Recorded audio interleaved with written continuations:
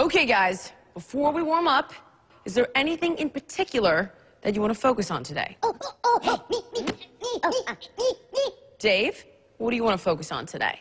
Ah, torakotomi, pataki roma. But, but, but,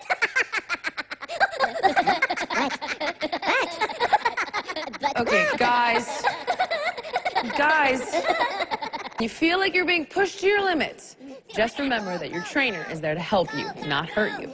So take out that healthy rage on the equipment and not us. Go, go, go, go, go. You know. Potassium is essential for proper muscle contraction during exercise. And nature has created the perfect delivery system. Bananas.